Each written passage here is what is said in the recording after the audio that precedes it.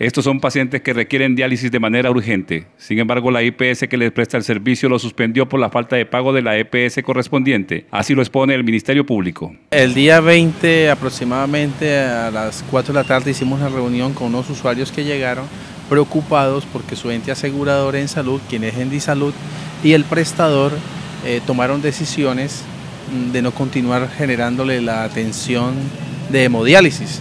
Estos pacientes eh, deben realizarse, los que asistieron deben realizarse un ciclo de tres eh, sesiones por semana de hemodiálisis que cada una de ellas dura cuatro horas, lo cual se considera una situación vital para el paciente. Si bien es cierto, es un procedimiento asistencial, se convierte en vital ya que la vida del paciente depende de este procedimiento, de este tratamiento. Esta es la queja de una de las pacientes. Entonces no nos están haciendo la diálisis porque en Disalud no ha pagado a nuestros servicios. Les debe unas cuentas muy, una suma muy grande. Entonces ellos paran con no hacernos para que haya la presión y Endisalud pague. Pero el cuento es que Endisalud no tiene plata.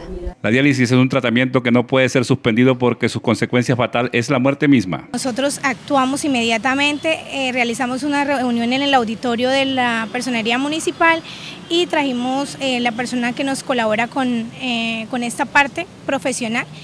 nosotros realizamos Ayer eh, aproximadamente de 8 a 9 tutelas, 5 incidentes de desacato y las asesorías. Ya pusimos ante los, las entidades competentes las denuncias, la Supersalud. Ya fue puesto en conocimiento de la Presidencia de la República, el Ministerio de Salud y otras autoridades, entre ellas la propia Fiscalía General de la Nación.